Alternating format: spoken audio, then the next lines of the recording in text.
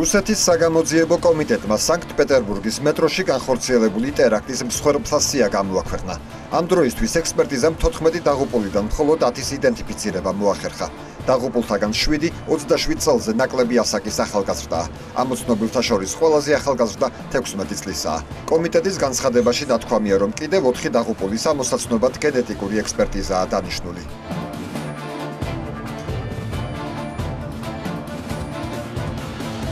სამ აპრილს დღისით მეტროს ვაგონში აფეთქება იმ დროს მოხდა, როდესაც მატარებელი სადგურებს სენაიას და ტექნოლოგიურ ინსტიტუტ შორის გვირაბში მოძრაობდა.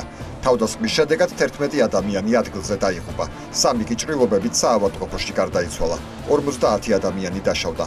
გამოძიების ინფორმაციით აფეთქება თვითმკვლელმა ტერორისტმა განახორციელა.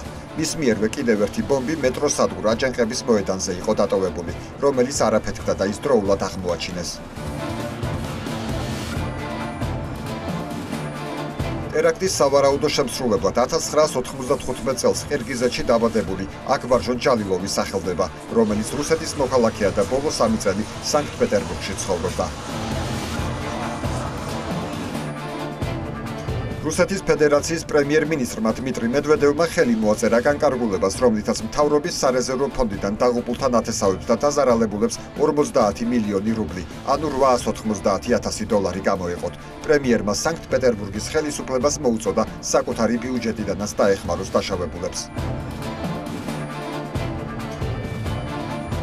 დაღუპულთა ოჯახებს თითო მილიონი რუბლი გადაეცემათ, რაც დაახლოებით 16000 დოლარია. ძიმეთ დაჭრილებს 400000 რუბლს, ანუ 7000 დოლარს მისცემენ. შედარებით მსუბუქად დაჭრილები კი 200000 რუბლს მიიღებენ. თავრობის გადაწყვეტილებით დაღუპულთა დაკრძალვის ხარჯებსაც სახელმწიფო გაიღებს. რუსეთის ნაციონალური ანტიტერორისტული კომიტეტის საინფორმაციო ცენტრში განაცხადეს, რომ მედიაში გავრცელებული ინფორმაცია თითქოს ქვეყანაში ახალი ტერაქტები მზადდება, სიმართლეს არ შეესაბამება.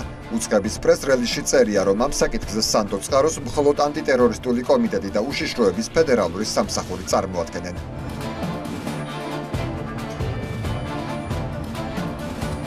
ტერაქტს კვლავ ეხმაურება მსოფლიო. პარიზში, სანქტ-პეტერბურგის მეტროში განხორციელებული ტერაქტის მსხვერპლთა ხსოვნის პატივსაცემად ეიფელის კოშკი ჩააბნელეს.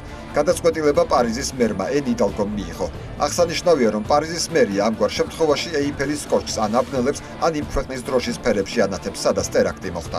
ამჯერად გადაწყდა კოშკი რუსეთის დროშის ფერებში არ გაინათებინათ და უბრალოდ ჩაებნელებინათ. იქამდე ეიფელის კოშკი 23 მარტს ლონდონის ტერაქტის შემდეგ ჩააბნელეს.